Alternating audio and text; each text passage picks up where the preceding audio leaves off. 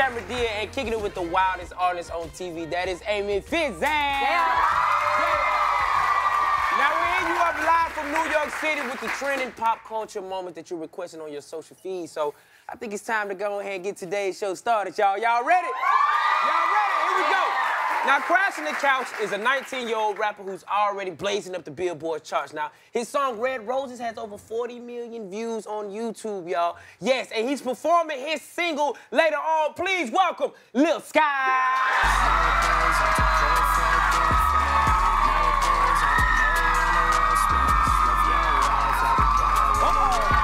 Oh, what's up, bro? Let's go. How are you? They were loud for you. Yeah, yeah, it's about to go down.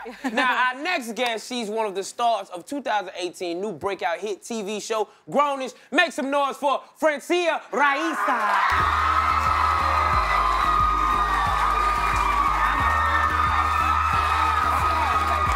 How you doing, mama?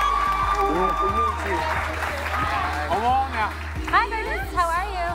It's gonna be a good show. Here, why don't you scoot over a little bit? Yeah, there we go. Now, now, now, now, Skies, what up, bro? I, I, I, I think I gotta go ahead and dig on into it now. Let's do it. You got these tats, and and people every time somebody see me, they look at my face, they like, oh my God, I can't believe it's real. You really do got a tattoo. Uh, duh.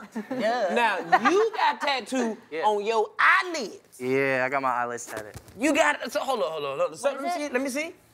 Show the world. Show the world what you got. 98. Now, 98. now Why- I know what my mama said when she seen mine. She was like, "Oh, I'm just gonna put you in the Lord's hands."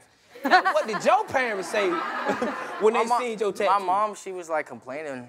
She was obviously on some mom like, oh my God, why'd you do that? She think I'm very handsome, so she was like, why would you do that? Like, you're my first baby. Why would you mess up your face? But I told her like, I'm a rock star. I gotta do. what I gotta do. Dude, you gotta do. You do. know what I mean? She was with it. She was like, all right, let's go. 98 Pipe the up. year you were born? Yeah, 98 the year I was born. Not 18 years you was born. Yeah. Oh, y'all making me feel old. I feel Yeah. well, Francia, you're not the, or he's not the only one with tattoos. You have a rose on your ankle. I have a rose on my ankle. Your song is called Red I love Roses. it. So you have a rose as Oh, well. that's awesome. It's beautiful. You have Yeah. a song about roses, Yeah, right? yeah. Yeah. Wait, so what's the significance of the rose for you? You have a rose on your face, right? Yeah, I have yeah. the- a dark rose. It's a dark rose, not Oh. a red rose. So but what I does the rose mean to, mean to you? Okay, so I love red roses. That's not why I got it. I had a boyfriend that was like, "You're not allowed to get tattoos." So as soon as we broke up, I was like, "You can't tell me what to do." Yeah. So it was my first one. Wow.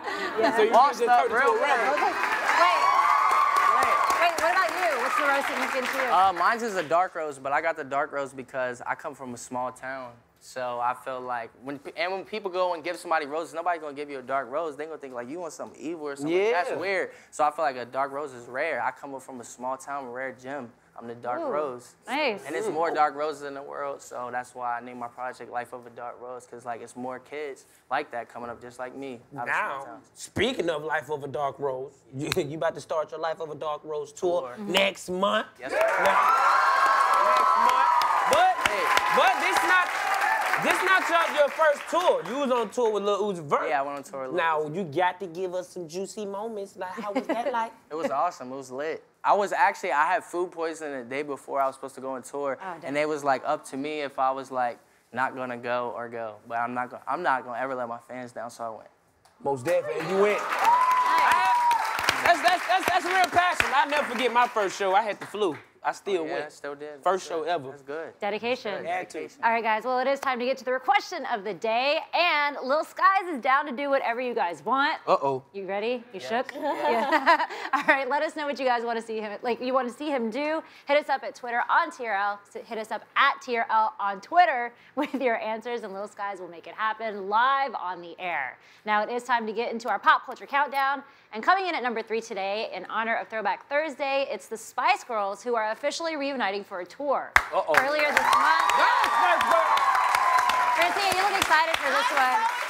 Right? My childhood. Yeah. Ooh, it's gonna be so so many earlier this month, that Victoria show. Beckham she teased this photo, and everyone was going crazy. Spice Girl fans were going crazy. Apparently, it does mean there's a tour. So you grew up with, or like on the Spice Girls? Yes, like yeah, all of it. I was Ginger Spice in the talent show, and then like, honestly, I was Ginger Spice because I wanted to be sexy Spice, and I probably performed.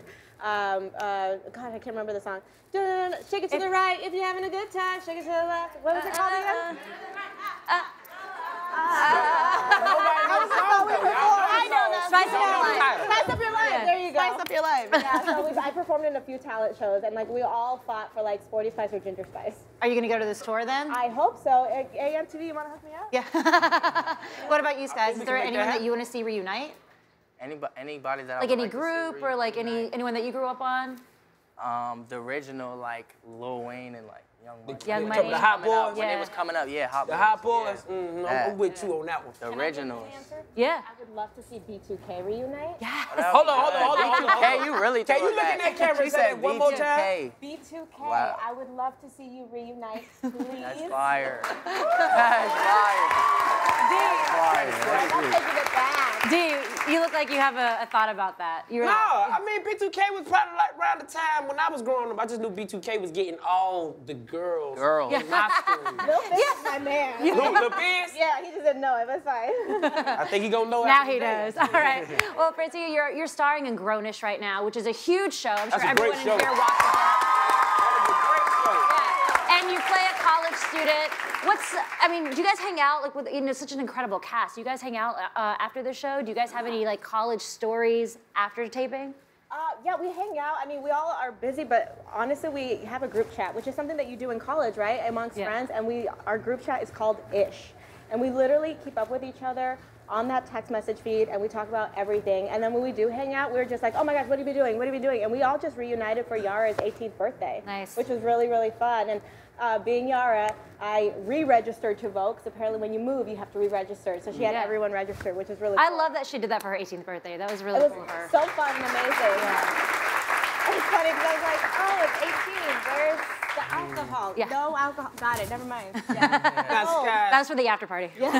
now, Skies, I, I just want to dig a little deeper. You know what I'm saying? Because everybody see the tattoos, but I Yeah. want people to get the real you. Yeah. Now, you know, today's rappers, they always so public about drug use. Yeah. But you more like anti-drugs, you know what I'm saying, use, especially with Xans and Lean. Like, you get in specific. Like, Yeah. why that route? You know what I'm saying? You don't want to go toward I the wanna- same route these other I want to rappers going. live. I want to be healthy. Uh-huh. I got stuff I got to focus on, like tour. I'm trying to be like the uh, arena artist. I want to Uh-huh. sell out arenas, stuff like that. So like, I just don't.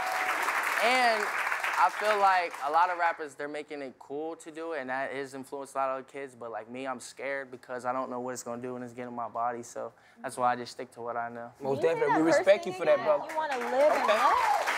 I want to live and be healthy. Skies? Oh, all right now, Sky. Yeah, wait, He said can he I, wants to live and be healthy. can I ask you something Yeah. though? Because like I obviously think that's such an important thing that you're kind Yeah. of going out to your fans, but I love your track Red Roses Thank and you. I listened to it and the first line in Red Roses is about drugs, Drugs, yeah. right? Yeah. So can you explain that? Cause Yeah, I'll fans, explain Because fans that don't know that, that you do a, drugs. Yeah, that was Or just don't a, do drugs, sorry. that doesn't mean that I was talking about like, oh, oh, this is just a time of my life where like I was just doing what I had to do to get by, trapping, mm-hmm. whatever, and that's how I came up with it. I was like, I got what you need. That's what it was. That's how. That's literally what that. That's all that line was. It was like a time in my life where like I was coming up, like people knew me, but I wasn't like you know I had to find that hit. Red mm-hmm. Roses was the one. I mean, we- It's we definitely a hit, yeah. All right, well, Francia, a lot of people not only know you because you're such a talented actress, but they also know that you are Selena Gomez's best friend, and you selflessly and bravely gave up your kidney to her while she's battling. Hold up, hold up. I don't, I don't think y'all. I don't think y'all. Y'all get up off y'all feet for that. Get up off y'all feet for that. Get up off y'all feet for that. That is all. I don't think y'all understand. I mean, that's like, you know, we all say things like, oh, I love you so much, I'd do anything for you. I mean, you proved it, and it's uh, such a beautiful bond. I- I'm curious, like, how does that change your bond when you really give up a piece of yourself to your friend? So the first thing I told her is I don't want this to change our friendship. I think the important thing about friendships that people forget is just because you give doesn't mean you always have to receive. And our friendship was amazing and it's continuing to be amazing. It hasn't changed. And I think that's what really friendship is about is being there for one another but not expecting anything in return. It's unconditional love, honestly. So no, it hasn't changed. That is beautiful.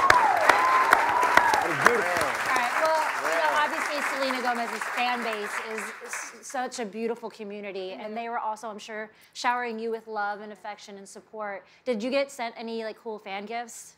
No, but I got told a story. I don't think they know where to send gifts, which is fine. I appreciate all the tweets and Instagram messages. Like honestly, it was so overwhelming, the amazing support. But there was one person who donated a kidney to her dad, and she said she was really upset at him and the fact that she had to do it because of the scars that she had and she was too embarrassed to show them.